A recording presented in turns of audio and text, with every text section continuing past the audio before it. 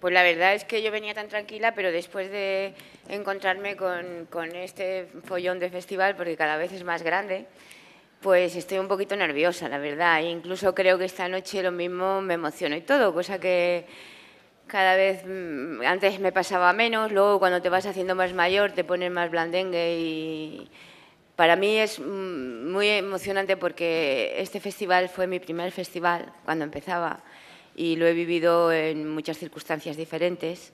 He vivido el Festival de San Sebastián con alegrías enormes y con tristezas también, porque cuando se va a un festival con una película en competición y la película no funciona, lloras y te da mucha penita al director. Estoy un poco nerviosa, la verdad, ¿qué queréis que os diga? Y bueno, por lo menos ya tengo el traje encontrado. Porque lo primero cuando me lo dijo, Alex me llamó, me dijo, es secreto, es secreto, te lo digo yo, pero te tienen que llamar del festival. Y me dice, te dan el premio Donostia. Y digo yo, pero no, Alex, ese es el las extranjeras. Y me dice, no, no, no, que este año te lo dan a ti. Y digo, vale, fantástico. Y, luego inmediatamente piensas, ay, Dios mío, ¿qué me pongo? ¿Qué digo?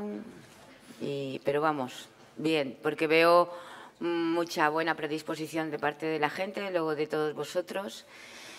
Y, me encanta que nuestro festival sea tan simpático y tan importante.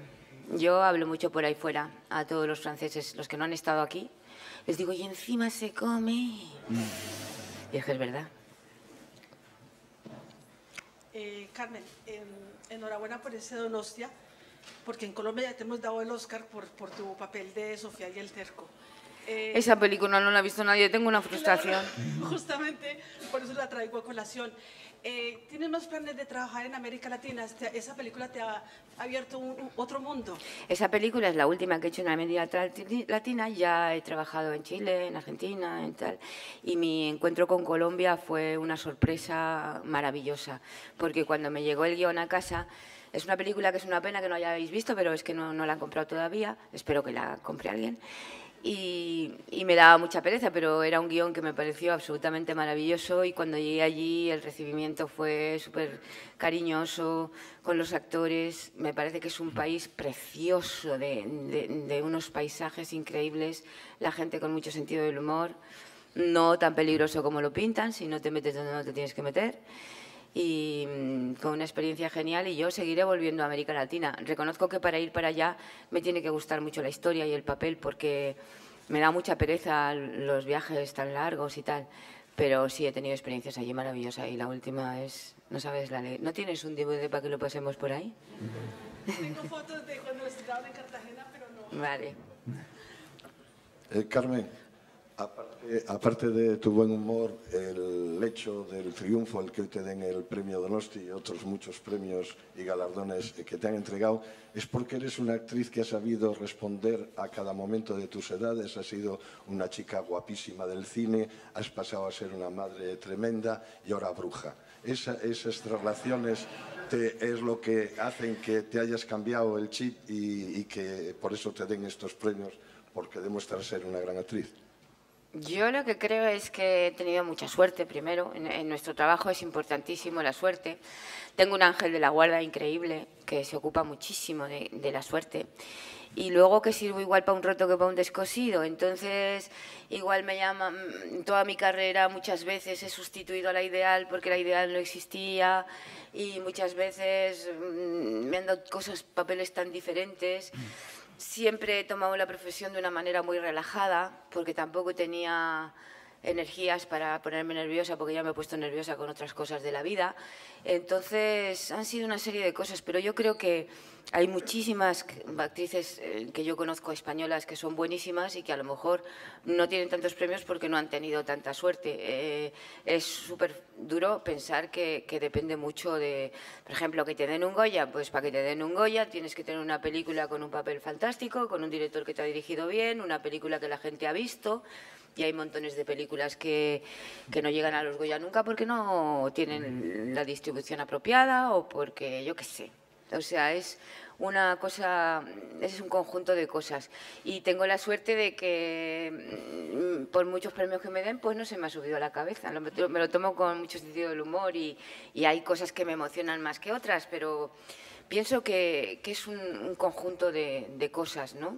Y el ser ni guapa, ni fea, ni alta, ni, ni flaca, ni gorda, ni nada, eso te hace que te den muchos papeles muy distintos.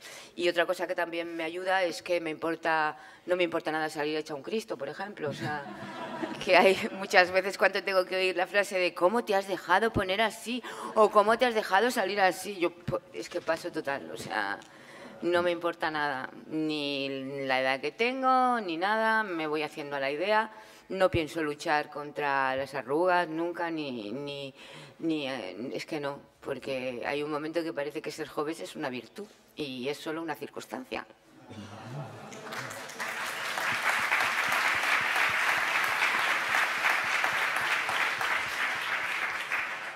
Tengo 68. Lo digo mucho para que así la gente diga, oye, ¿cómo, ¿cómo ha envejecido, madre mía? No, no. Y si dices que tienes 68, te dicen, oye, pues qué bien está para 68. Lo voy diciendo por todo el mundo.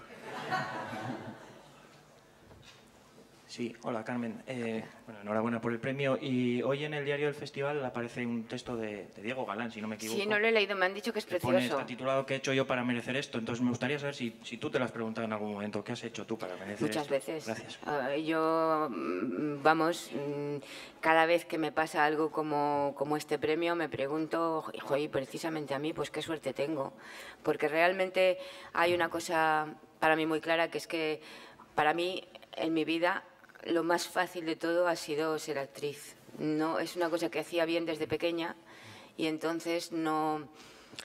Todas las demás cosas de la vida me han costado muchísimo más trabajo, muchísimo más lágrimas, muchísimo más esfuerzo. El cine y el teatro para mí ha sido lo más, lo más fácil. Entonces cada vez que tengo un premio me parece como una sorpresa.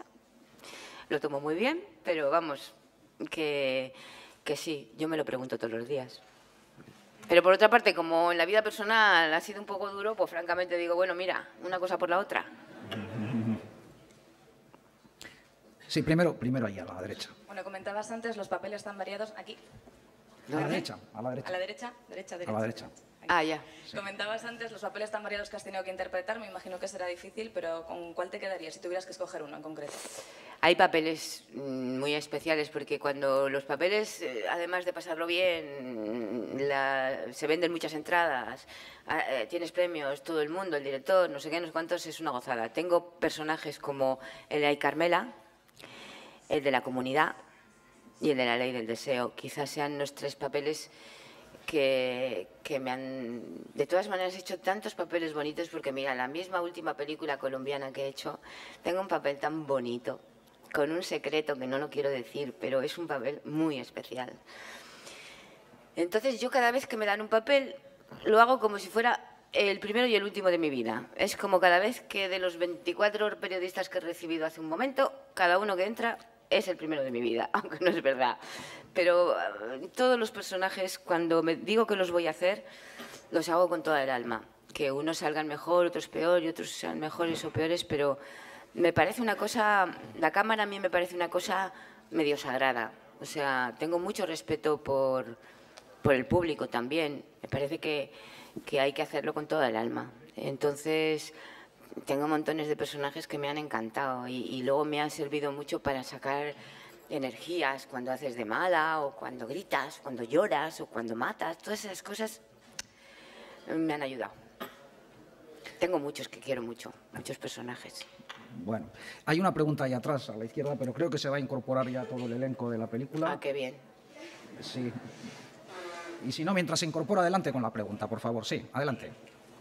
Hola, Carmen. Hola.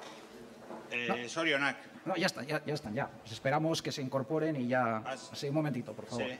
Eh, ¿Suben ya? No, pues adelante con la pregunta, venga, por favor. Adelante, adelante. Adelante. A ver, Carmen.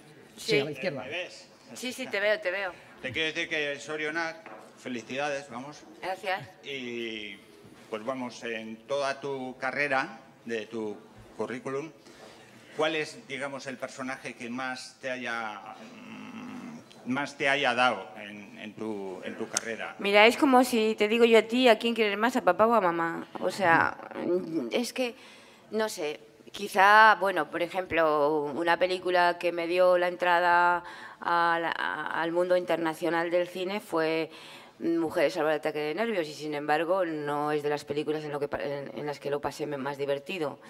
Y mm, que me haya dado, pues no sé, a ley del deseo me sorprendió mucho cuando la vi, que creo que es la vez que más sorprendida me he quedado al ver que había un hombre dentro de mí que yo no conocía.